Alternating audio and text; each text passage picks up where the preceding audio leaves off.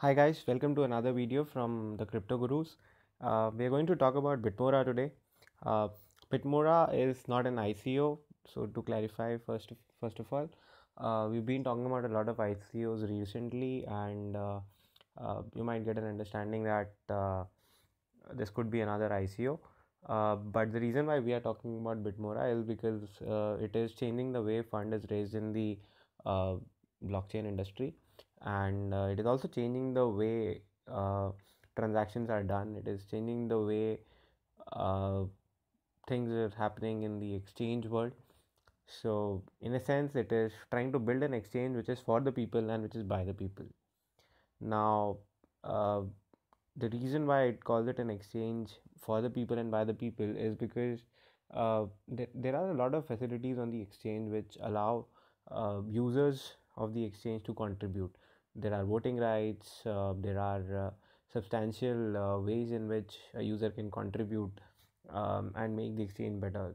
So bitmora as a as an organization is a team of individuals who believes in taking customer feedback real time and uh, implementing it so as to make uh, the product or the uh, service more effective. So it's a digital cryptocurrency exchange uniquely identified as an exchange for the people and by the people. We're going to here understand uh, what exactly Bit, uh, Bitmora is and uh, how is uh, it trying to revolutionize the uh, cryptocurrency exchange industry. So, Bitmora is a US based cryptocurrency exchange platform which is set to revolutionize the way the digital currency exchange world operates. So, it will be bringing in a kind of trading platform which will have very low fees, uh, which will have very high or enterprise grade security, the one which uh, is which exists in the systems designed by the likes of uh, Google, Microsoft, etc and it will have a unique voting system which will be designed to put the future of cryptocurrency exchange in the hands of activists and user alike. So uh, the reason why uh, bitmora is doing this is uh, if you look at the evolution of blockchain as a technology and if you look at the evolution of blockchain 1 more commonly known as uh, bitcoin or blockchain 2 which is more commonly known as ethereum uh, each of the technology has evolved with the involvement of common public. Uh, it is a tech whiz who uh, stay in different parts of the world and who contribute to uh, creation of systems, technologies, uh, new facilities, use of smart contracts, for example, in the Ethereum blockchain has been used worldwide. And all the uh, coins that we see, the new coins that have come in, or the new companies, the ICOs that we have seen, are a result of the openness which is shown by the system. So there are no geogra- geographical boundary boundaries here, uh, which means that the most popular hundred uh, top ICO related companies are not going to be based out of San Francisco. They might be uh, spread across the world and might have contributed uh, irrespective of what their location is which is a big thing in itself. But if you were to look at the cryptocurrency exchanges that exist in the system, most of them uh, are not making things open to the public. So they uh, most exchanges in any of the countries like uh, Coinbase or the Gemini uh, or Robinhood, if I were to talk about the latest exchange from South Korea, all of them have deployed ways to implement exchange mechanisms but none of them have incorporated user inputs here, which defies the whole purpose of using blockchain as a technology. You know, so you are, you are a part of the blockchain world, so irrespective of whether the uh, service you are providing includes blockchain directly or not, uh, the idea of using cryptocurrencies and the idea of making a free world and the idea of eliminating middlemen has to be achieved whenever this happens in the blockchain world, which is defied by a lot of exchanges. So Bitmora is trying to break that and trying to bring in a revolution by which it is going to make sure that the concepts or the uh, values of blockchain are intact, irrespective of whether the technology used uh, is not completely decentralized or decentralized.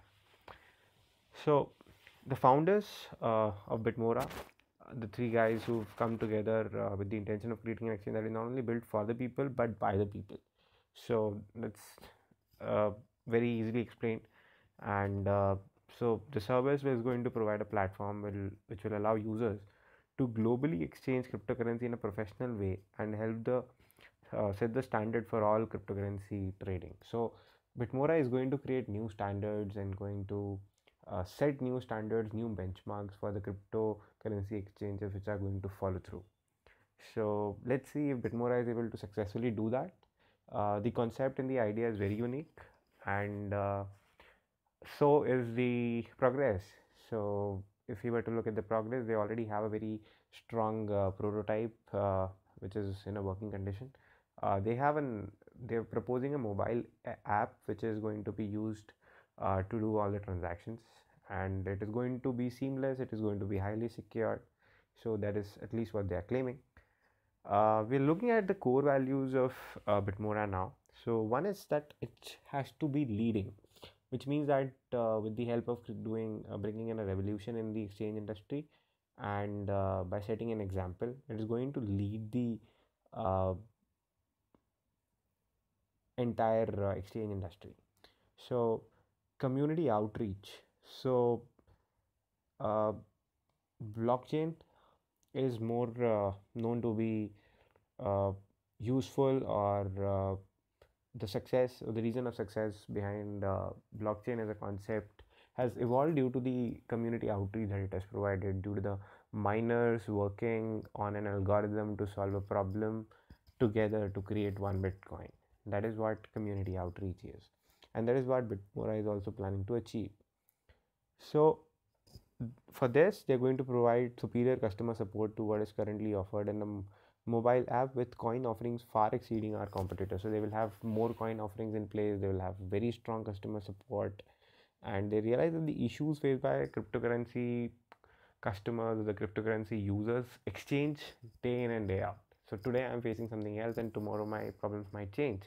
But uh, i don't know. I really have to understand you know. So as an exchange i have to be equipped up enough with tools to understand customer problems quickly. And that is where the voting system which is going to be used by bitmora comes in. We'll explain to you that, that uh, in detail later. Uh, right now i'll go ahead with what the core values of bitmora are. The third core value is public awareness. So in order to make uh, larger public available, you know, and, or understand Bitcoin, Ethereum, and other altcoins, uh, it is very important to have interfaces which are very strong. And right now, it's a big challenge to track all of them in through a single mobile app and you know do do transactions through the same mobile app and track it on the same. So you have to download an app which is on the coin market cap and then you go into a laptop and uh, log into your uh, uh, a coin exchange and you do it. So uh, that's that's and then there is difference of prices because of different currency exchanges different markets etc which creates a whole whole new set of problem. And which is the reason why uh, it is still not mainstream. The blockchain technology is still not mainstream. Bitcoin ethereum is not traded by masses yet. So in order to bring it to the masses bitmora is going to uh, ensure that the public awareness is increased. And for that they have a very strong ui and a very strong interface to interact with their customers.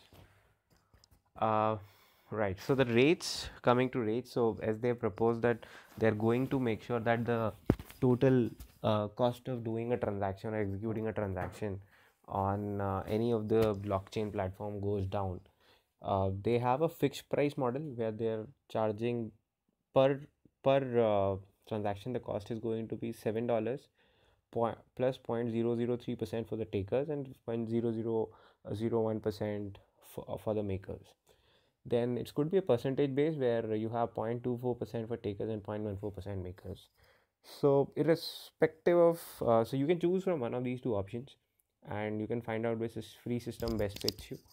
And uh, if you are a taker you can easily see as per the, the amount of dollars exchanged. So the table here justifies as to what is the amount that you need to you know have a minimum investment of in order to go for the fixed cost right? So for example if you're investing $10000 then it makes sense for you to go for the fixed b fixed system whereas if you are doing a transaction uh, of $100 then you might want to go for a percentage system right?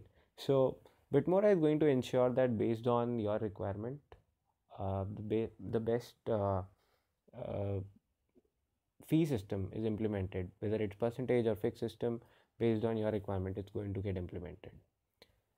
Now how is it going to ensure that users post are taken care of? So uh, for this every user is going to be given a voting right and the top 20 suggestion will be passed to the investors. So what is going to happen is there's going to be a private voting group. Uh, users will be free to post any voting ideas uh, or any ideas which they think need a vote on. Those uh, voting groups will then you know have an influencer group. So uh, there will be an influencer group which will stand for or against the ideas and uh, against each of the ideas this influencer group is going to have an opinion. Then there's going to be an advising board. So after it goes through uh, the private voting group and the influencer group uh, an advising board will discuss it and try to understand what the idea is all about. The idea is mostly going to be around uh, building up new facilities into the exchange um, adding of new coins which coins need to get added which coins need to get removed. Um, how can speculation uh, trading be avoided how can uh, systems be made more easier? How can um, tradings like future option or uh, any of the derivative trading happen in a better way? So these these are the things which users will be able to post a suggestion on and they'll go through a series of uh, uh, you know quick steps and uh, they're going to first implement it. So the top 20 suggestions will be uh, passed to our to the investors and the investors will have a final vote.